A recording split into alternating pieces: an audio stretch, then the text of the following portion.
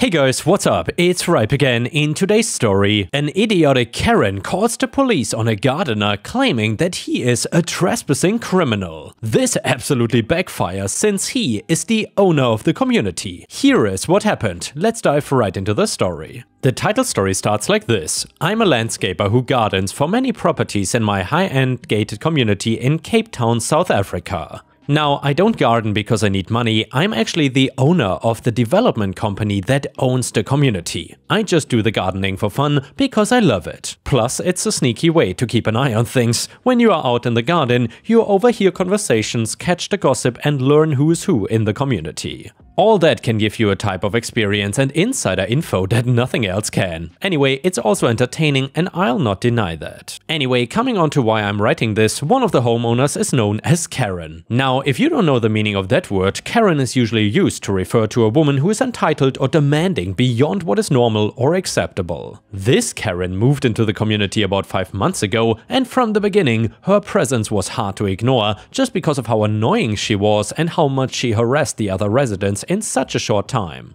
She would nitpick at little things someone has done and make it into such a big deal as if that person committed the most heinous crimes. She also had a habit of falsely reporting the other homeowners, which led to police officers coming over and disrupting the peace. When asked why she made a report, she would just say that she was looking out for the community. I never actually saw any of this happening, because I was only here gardening on Saturdays when Karen would either be out doing whatever or snoring away in her house. Having police come over so often gives the whole place a bad reputation honestly, and I know the community members were trying their best to handle it. One such Saturday when I was tending to the garden of someone who has been living here for almost two years now and has become quite a good friend of mine, I saw Karen coming towards me. I already knew that this was gonna be bad news because Karen would never waste her time complimenting or helping others. So I was ready to hear her complain about some plant or some weed or whatever she could nitpick about the garden. Karen, what do you think you're doing? Karen shouted at me, which kind of made me surprised because of how loud and shrill her voice was. I still tried to be calm though. Me, I'm doing my weekly gardening here. Can I help you with something? Karen,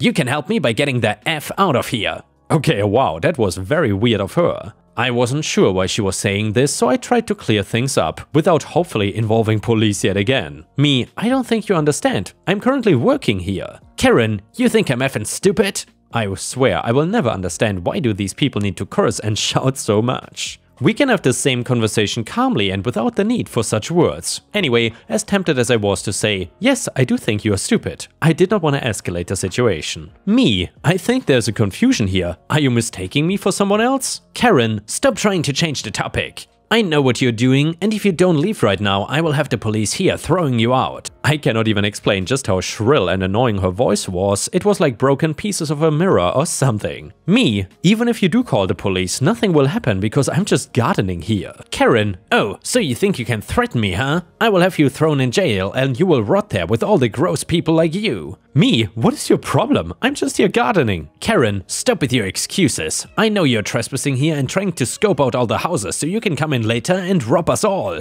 Do you think I'm blind to your schemes? I was so damn confused at that moment, like man, what was she even going on about? Me, I do not know what made you think so, but I'm not trespassing. I have the homeowner's permission to be here and garden for him. You can go and ask him. This seemed to make Karen unsure, but it seemed like she didn't want to be proven wrong, so she kept screaming instead. Karen, oh, so should I leave and so you can run away? You're not as sly as you think, you idiot. Now get lost. Me, fine, I'll call the homeowner myself, since you clearly are not smart enough to do that. I was so done with her that after proving my innocence, I was gonna go back home anyway. So I turned around to go bring the homeowner out when I suddenly felt hands on my shoulders shoving me onto the ground. I was somehow able to not fall on my face and stumbled back only for Karen to then pull me and slap me. Me, are you crazy? You think you can just assault me like that? Karen, get out of here or I will do much worse things. Me, like hell you would. So I went to call the police, but Karen was faster. Karen, hello police, someone broke into my home, please help me. He is crazy and is threatening to assault me. This freaking piece of jerk human. Thankfully, amidst all this chaos and screaming, the homeowner came out and when he saw my state, he immediately rushed to my side. Karen saw him and again started with her idiocy. Karen, he is trespassing here. I've called the police. Homeowner, he's not trespassing. He has every permission to be here. What made you think he was trespassing? At this, Karen seemed to get scared but still stood her ground, and she had probably realized how majorly she had messed up by now, but didn't want to back away. Karen, you're lying. Both of you are in on it together. This is just a ploy to scope out the area and come back to steal from me later.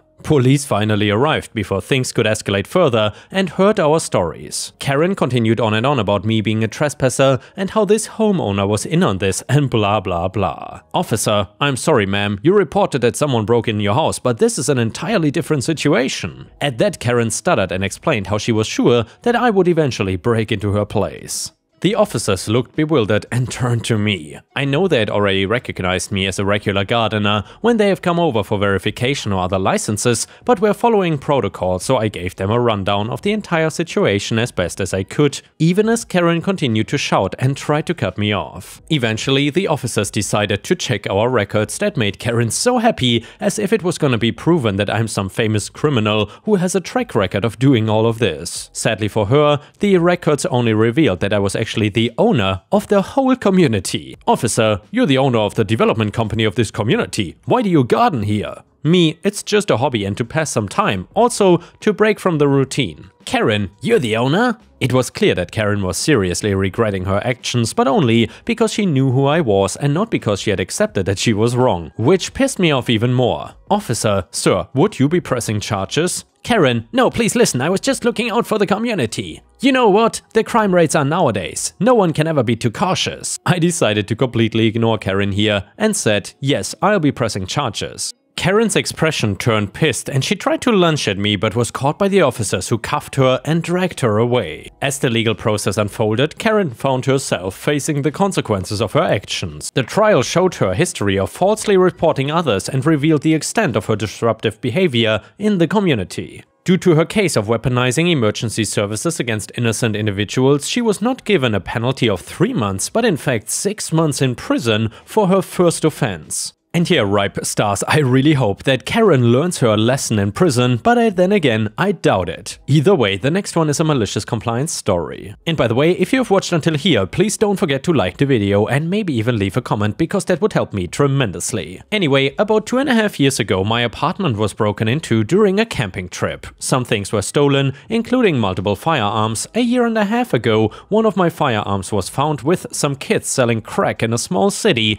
right over the border of the next state. The plea deal fell through and the girl the cops had initially mentioned was going to trial. I received a letter in the mail telling me of the court date and location, but it's explicitly not a summons. Whatever, I want my gun back sooner than later, so I go. Both the prosecutor and the assistant prosecutor are out sick, one with the virus, and they make us hang around for a while for no reason, and eventually I just leave. They didn't like that, but whatever, being there was legally voluntary, I tell them they can mail me the new date and I'll deal with it then. Three weeks go by, and here we are this morning. I get home from work and I check my mail. There are two letters, one for the first girl and another for a guy I know just as an accomplice from the updates about the girl. His trial is today and hers is tomorrow. I go to the courthouse 40 minutes away and let them know I am here, everything is fine. They bring in the jury pool and spend two hours getting down to seven jurors. The trial starts and we are just patiently waiting, four cops and one other civilian victim slash witness.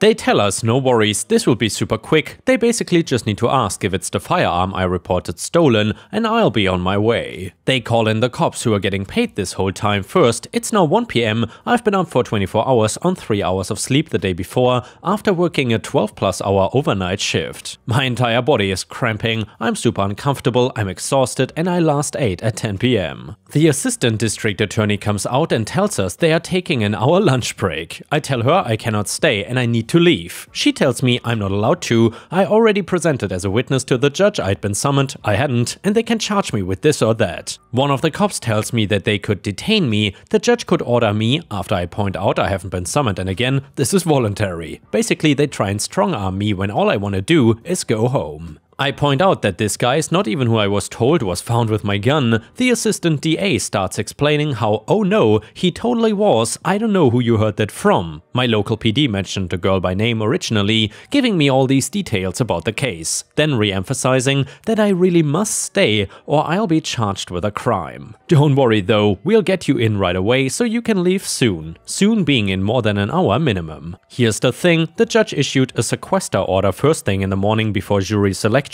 I say fine and wait, here comes the single greatest act of malicious compliance I've ever committed in my life. So all the attorneys come in, all the jury comes in, the judge makes me swear to tell the truth and I do. As soon as I finish I blurt out the prosecutor broke the sequester and was telling me about the case during the break. Stop! Everyone except the lawyers out, including me. Eventually, they just bring me back in. The judge again makes me swear to tell the truth, confirms I understand what's happening, and tells me the importance of a fair trial, maybe don't witness temper then, and explains that witnesses are never to volunteer information and are to only answer the questions. You've been summoned and it's a legal obligation. I let him finish and mention that I've never been summoned. He says, then I'm ordering you, understood? Yes. Everyone comes back in. We all take our oaths again, and the prosecutor that was threatening me starts asking questions. Here's the thing, I swore to tell the truth. I never agreed to tell it in a way that makes her life easier. She asks me some basic questions, name, age, what I do for work, etc. And then she gets into the actual questions like, do I own weapons? Did I report any stolen around this date? Did I own one of this model? Did I report this model stolen, etc.? Is this your gun? It certainly looks like it. Did the XXX police contact you when it was recovered? No. Who did? YY Police Department, my local PD. Did they give you any details regarding how it was recovered? They said it was allegedly used in a crime by girl's name. Defense objects and the judge strikes that from testimony. By now, the DA is realizing that she's giving me too much leeway and starts asking for yes or no answers. Eventually asks if I would recognize the serial number if I saw it, I tell her no and that roughly sums up my questions from her. Then it's the defendant's turn and it goes exactly as you would expect by now. I answer truthfully but in favorable wording. You said it looks like your gun, but you cannot confirm? I'd need to compare the serial number against the police report or the gun shop, which still has it on record. Do you know who stole your firearm? No. Do you recognize ZZ? No. She asked a few more plausible deniability questions and then I was free to go. I cannot wait to be back tomorrow for the girl's trial. I will probably be much less malicious, but I know the DA will be nervous when she sees me. The court is officially over, so the sequester order is no longer in effect, good times, and don't worry, if I botched her case in this regard, that kid had more than enough chances, he should have taken the plea deal. And the next one is an Am I the A-hole story. So my 35 male sister died 3 weeks ago, my wife had only met her once since she lived quite far away, and every time I went to see her, my wife did not come. My dad told me that she had died and told me when her funeral was. I traveled down for the funeral and I told my wife that I was gonna see my sister, which was not really a lie. A few days after I got back home, my brother called my wife and told her to check up on me since I hadn't been answering his calls and texts.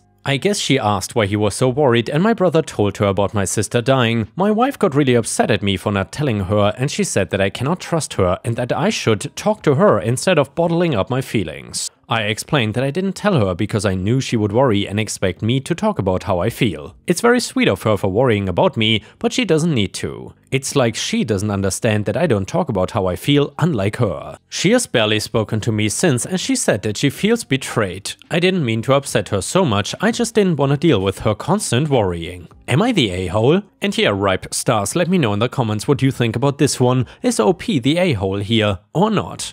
A first comment said, Unfortunately, you are the a-hole. First and foremost, I'm sorry for your loss. I understand it's hard when a partner can be a little overbearing when they are worried. They love you though. I would be quite hurt my husband would not share something so personal because I would worry. Trust that she's there for you. You can say that I don't need you to worry or even I need some time to myself, but to purposefully keep information like that from your family, it's just hurtful. I hope you guys can talk it out. Comment number two, sorry dude, you're the a-hole, you cannot hide things from your spouse and this was a big deal. Always be honest with your wife, my recommended approach would have been to tell her what happened and just being clear about what your needs were at the time. You cannot control how worried she feels, but there would have been nothing wrong with asking her at the time to support you by trying to make her worrying less obvious. Let her know why, for example, perhaps it overwhelms you and stresses you out when she worries excessively. And now let's move on to the next story. It starts like this. I am a type 1 diabetic woman and I've been living with this condition for as long as I can remember. Being type 1 diabetic means that my body doesn't produce insulin, a hormone that regulates the amount of sugar in my blood. Instead, I have to manually inject myself with insulin several times a day or use an insulin pump that is connected to my body. Living with type 1 diabetes has its challenges. For one, I have to carefully monitor my blood sugar levels and I cannot just eat whatever I want without considering how it will affect my insulin levels. If my blood sugar drops too low, I can feel dizzy, shaky and confused. If it goes too high, I can experience fatigue and thirst. Last week, I was on a bus going back home. As I settled into my seat, I noticed a woman with a young boy sitting a few rows ahead of me. The boy was screaming loudly, and the mother didn't seem to be doing anything to quiet him down. I felt myself getting annoyed and frustrated. I had a long day at work and just wanted a peaceful ride home. But this woman seemed completely indifferent to the fact that her son's behavior was inconveniencing others. As the screaming continued, I could feel my blood sugar level rising. Stress can affect my insulin levels and I knew I needed to find a way to calm down. I took a deep breath and reminded myself that getting angry would not solve anything. After a few minutes of trying to calm myself down, I felt someone watching over me. I opened my eyes and found that a little boy was no longer screaming but instead staring in my direction, specifically staring at my insulin pump that was visible on my waistband. I knew right away that this was gonna be trouble. The boy turned to his mother and pointed in my direction and I could feel my blood pressure rising. I tried to ignore him, hoping that he would lose interest, but instead he started walking down the aisle towards me, a mischievous glint in his eye. When he reached where I was sitting, he made a grab for my insulin pump without even asking me. I was taken aback by his boldness and quickly pulled away. Me is me, Karen the rude woman, and Brad, Karen's bratty son. Me, hey, you cannot touch that, it's very important to me. Karen finally noticed what was happening and quickly intervened. Karen, what's happening here? Me, your son was trying to take my pump and I told him not to. I would appreciate if, surprisingly, or maybe not, instead of scolding her son, Karen rolled her eyes at my words and crossed her arms as she looked down at me. Karen, what's the big deal? He just thinks it's an iPod. Can't you let him see it for a minute? I stared at her for a few minutes, thinking maybe this was all some kind of sick joke, but neither was Karen replying, nor was she stopping her son who still kept reaching out towards my pump. Me, I'm sorry, I think there's a confusion. This is not an iPod, it's an insulin pump that I need to manage my diabetes. Karen rolled her eyes again, and I was starting to feel irritated. Karen, I'm not dumb, I know what it is. But he doesn't, and he needs to see it for himself. Well, you look and sound and behave dumb, but what I wanted to say was, unfortunately I couldn't, because number one, I didn't want to start any drama with this woman, and number two, I was not sure that anyone would intervene to help me if this Karen started being violent towards me. Me, I'm sorry, but I cannot just hand over my medical device to your son to play with it. Karen, oh come on, it's just a little device. He just wants to play with it for a bit. What's the harm in that? Me, first of all, it's connected to my body. Second of all, your son can damage my pump or even drop it, which will cost me a lot. Both in money and my health. Please understand this. Karen, oh please, just say you're a selfish brat who cannot even give a little boy this much happiness. My boy is not freaking disabled like you, he knows how his hands work. Me, well, I can tell his hands work by the fact that he had not stopped trying to touch my pump even after I told him no. Being called out like this hurt Karen's feelings and she started glaring at me. Karen, my boy wants to see it and you're being difficult. Give it to him for just a minute, okay? Me, that's not gonna happen. Tell your boy to use his legs now and walk away. Karen, fine, be a little witch. I hope this device stops working before you reach your stupid house. I was taken aback by Karen's words and watched as she walked back to her seat without dragging her son away. The said son, or the biggest brat I'd ever come across, continued to make attempts to grab my insulin pump despite my firm no, and I started to feel more and more uncomfortable. I tried my best to ignore him, but it was getting harder and harder to do so. Then, all of a sudden, he lunged towards me and grabbed onto my pump. I instinctively pushed him away to prevent him from damaging the device or harming me. Karen immediately rushed towards us, yelling and berating me for pushing her son. I tried to explain to her that I was only trying to protect my medical device, but she would not listen. She started to make a scene on the bus, attracting the attention of other passengers. Karen, what do you think you're doing? Don't you dare to touch my boy! Me, your son was trying to grab my medical device. If you cannot control your children, don't have children for Christ's sake. Karen, you think you can do whatever the hell you want because you're disabled, huh? Let's see how you feel when I take this away. And then she ripped the insulin pump off of my body herself. I cried out because it hurt like hell and immediately tried to get it back and this time Karen had the audacity to slap me. I stumbled back into my seat, hyperventilating and fearing for my life as Karen kept screaming. I was almost about to faint when I heard other voices speaking against Karen, and some helped me sit straight in my seat. They patted my back and gave me chocolate milk, and all the while I could hear Karen arguing with others now. KL for random kind lady on the bus. KL, this is harassment, and I'm gonna ask you only once to give this lady her insulin pump back. Karen, and what are you gonna do if I don't hand it back, huh? Are you gonna cry like this brat? Are you gonna beg me to? Karen was getting all up in the kind lady's face, and I honestly felt so guilty at putting some stranger in this position until that lady backhanded Karen so hard that she ended up staggered before literally passing out. Her son started crying and screaming while he sat next to her. He even punched the kind lady a few times on her calf but stopped when she glared down. I did notice later on that the kind lady was built like a frickin' bodybuilder. The veins on her arms were popping like crazy and you could see the muscles under her fully sleeved dress. No wonder she intimidated the boy easily. KL, are you okay? I was so shocked by the turn of events that it distracted me from the panic attack I was having earlier. The kind lady handed me my insulin pump and asked if I wanted her to call the police. I hesitated a bit, but as soon as my stop arrived, police officers escorted Karen and her son out of the bus where I told them I will be pressing charges. They asked for evidence and I told them that the bus had CCTV cameras which they can use. The kind lady also gave the officers her number and offered to be a witness for me. I was honestly so grateful to her for helping me. This case is still ongoing and I'll be meeting the kind lady soon regarding it. I hope I can muster some courage to befriend her, she is so cool and badass. And yeah, Ripe Stars, I'm very glad that Karen essentially got knocked out in this story, because clearly someone had to teach her a lesson. Even better when a kind lady did it. Anyway, if you liked the story, please don't forget to post a comment and maybe even like the video, because that would help me tremendously. Thank you so much, and the next one is another revenge story. My friend Dan was smart and unconventional. He was a senior electrical engineer at a small company I worked for. This was in the 70s, while talking about cars and car modifications came up, he started explaining the importance of caster and camber in cars and why it's so important to get it right. He then left and told me, did you know the motor vehicle regulations describe the size requirements for a windshield, but you don't actually have to have glass in the frame? He learned this because he built a street-legal dune buggy from scratch while in high school, and the regulations are crazy complex. Dan was smart, could fix about anything, he started going to community college to get a degree, but quit because he knew more than the teacher. As I said, smart and unconventional.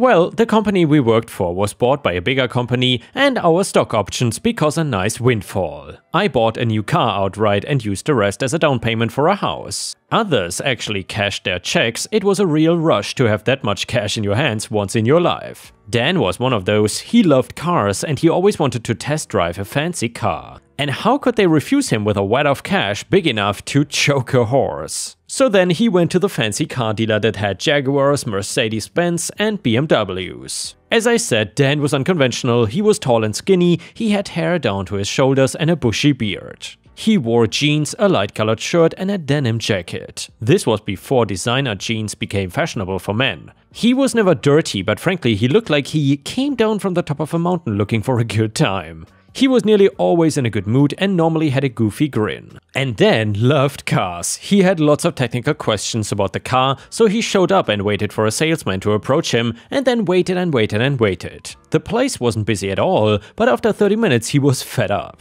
He was obviously being purposely ignored. So he gets an idea for petty revenge. He starts yelling, I came here to buy a cash, and all of you just ignored me, and I was gonna pay cash. And he whipped out the huge stack of $100 bills he had, spread them out, and waved it around for everybody to see. Well, I'm never coming back to this dealership again. I'll buy my car from another dealer. And then he stormed out. He laughed so much when he told us this story, I bet it felt great. And with this, we have reached the end of the video. However, if you cannot get enough of my content, please check out my endless playlist, where you can find thousands of hours of content. In addition, please don't forget to subscribe to my channel to not miss any of my daily uploads. Thank you so much in advance, and I hope to see you again tomorrow.